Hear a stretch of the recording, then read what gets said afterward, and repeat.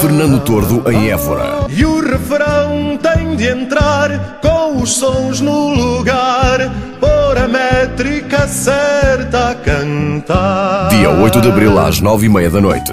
O melhor de Fernando Tordo. Minha ousadia, meu galope, minha rédea, meu potro doido, minha chama, minha réstia, Para ver e ouvir no Teatro Garcia de Rezende. meu amor, minha estrela da tarde.